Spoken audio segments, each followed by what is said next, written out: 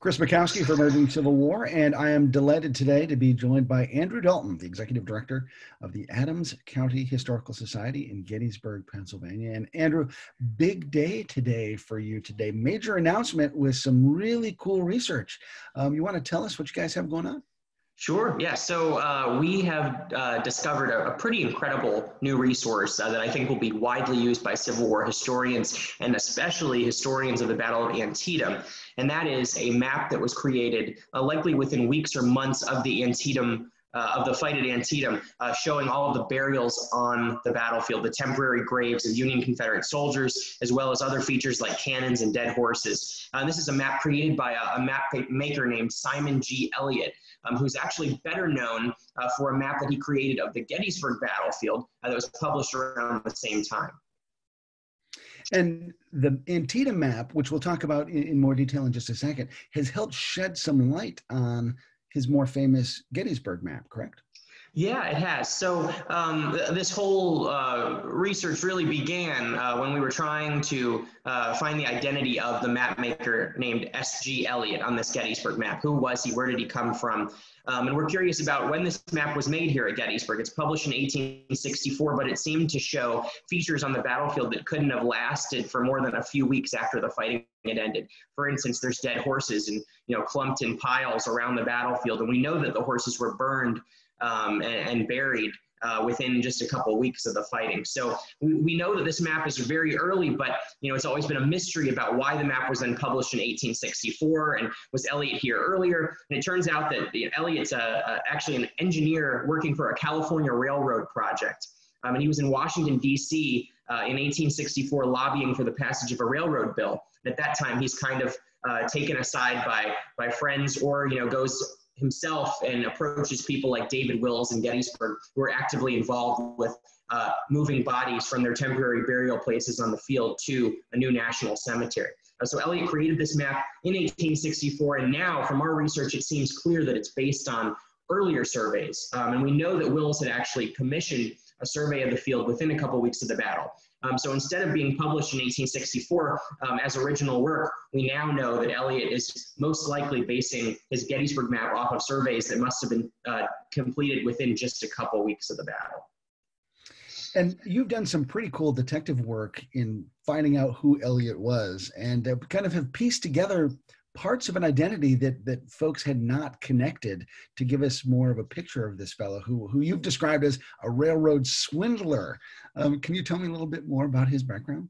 Sure, yeah. So uh, Elliott uh, was born in New Hampshire and uh, ended up following the, the gold rush to California in the late 1840s. Um, when he's there, he becomes a county surveyor um, and he works uh, on various projects related to railroads and surveying the lines for railroads. His biggest project was in, actually in 1863. At the time of the Battle of Gettysburg, uh, he was in California surveying a railroad line that was to be uh, put in between Marysville, California, Northern California, and Portland, Oregon, a large over 600 mile stretch of railroad.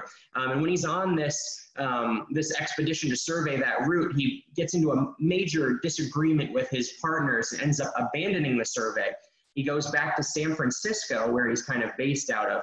Um, and the local newspapers report that uh, he's actually he's uh, over um, overblown what the survey's results had been and actually says that the survey was completed. And he says he's willing to go to washington to lay it before congress and lobby for the passage of a bill. Um, so elliott in january of 1864 arrives on the east coast in new york um, and uh, kind of touting this this project that that he had not actually completed. Um, he ends up in Washington. Uh, he's there for uh, most of 1864, and it's during that time that he's he's off on these these projects that kind of have nothing at all to do with his real purpose there. Um, and he's being subsidized by this company to lobby for the bill. The bill ultimately fails. Um, in the meantime, Elliott has created these two maps, um, and then.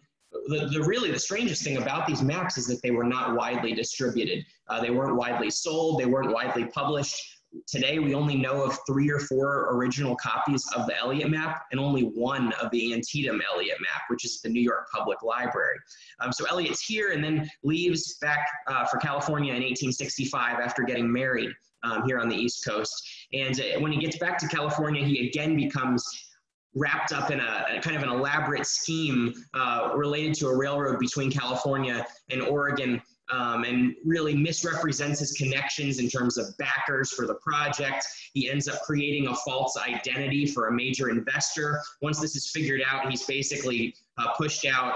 Um, there's a major court battle in California and Oregon, and Elliott returns to the East Coast, kind of uh, fading into obscurity. Uh, so it's a really interesting career that he has.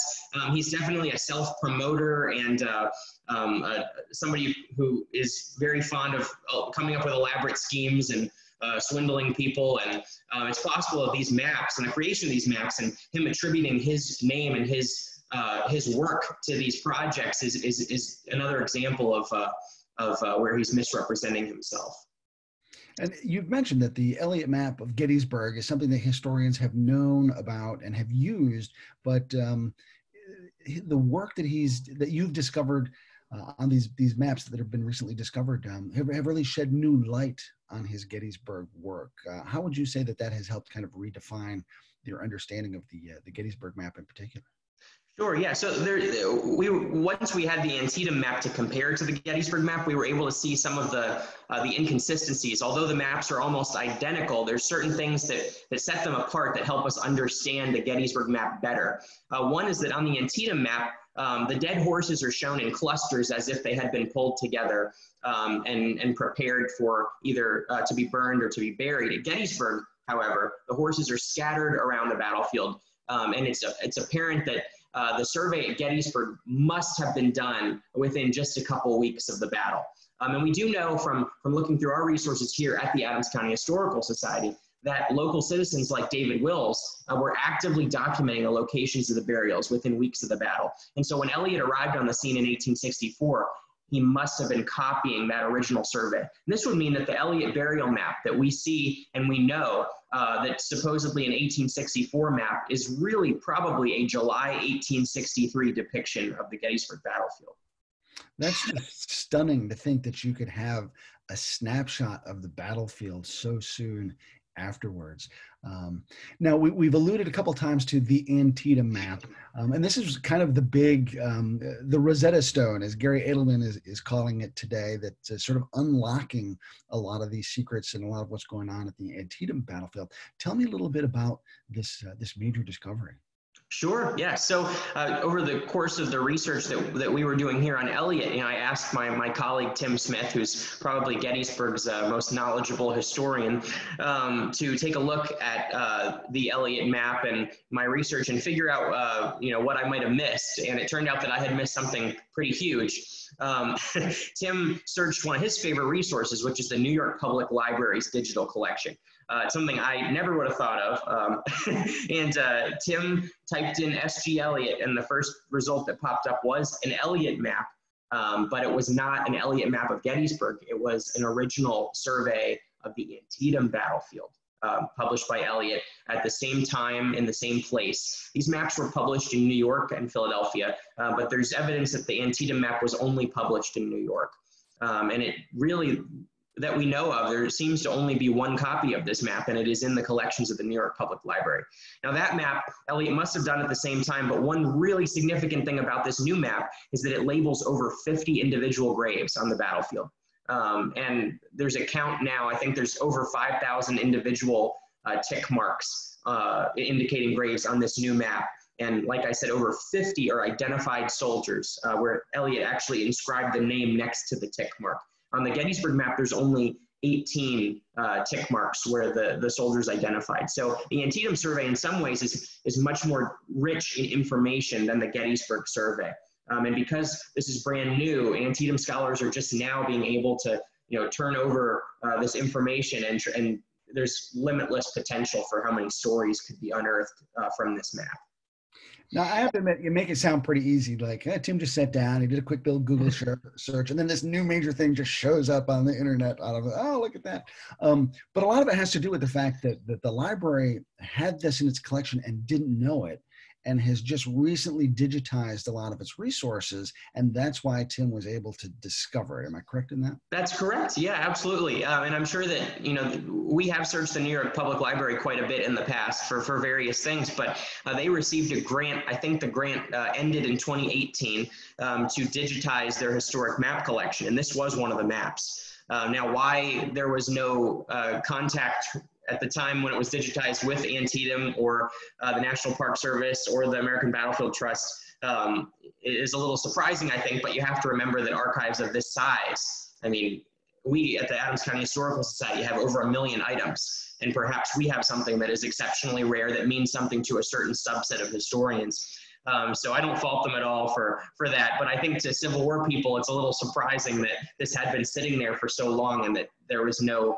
contact made with, with Antietam uh, or Antietam historians. But um, now, you know, there is a wonderful high resolution copy. So I encourage everybody to go to the New York Public Library's digital holdings page and you can just search Antietam or Elliott map and it should come up. You should be able to download a, a wonderful high resolution copy and take a look at this great find. And we'll actually have a copy of that link posted for folks who are looking at the blog today. Um, Andrew, I know you've got a busy, busy day ahead of you. Um, lots going on with the map and, and its unveiling today. Anything you want to add before we wrap up? Um, I just want to thank the American Battlefield Trust uh, for, for taking this torch uh, once we discovered it, we immediately called our good friend Garry Adelman, um, and he uh, contacted some media outlets, including yours, and uh, we did a nice video. And uh, their platform has really been been wonderful for us. And you know, I do encourage folks to, to check out our, our website as well, the Adams County Historical Society in Gettysburg. Uh, we are uh, the community archives for one of the most historic places in the country, Gettysburg, Pennsylvania, uh, with over a million historic items and all kinds of research opportunities. So I hope people will check out our website and our Facebook page as well. But I, I do want to really uh, give a big shout out to Garry Adelman and our good friends at the American Battlefield Trust. And I'll include a, a, set of links on our blog post to some of the resources that uh, you and the trust have worked on together. Uh, and I'm going to also include a link to the uh, the Historic Society. And I got to say though, the, the piece that you ended up writing about Elliott as a result of all of this, that, that sort of triggered this research, is a fantastic piece. I really enjoyed looking at it. So I'm going to uh, send people to the direction of that article as well because I think you just did a, a really neat story on Elliott and the detective work involved there.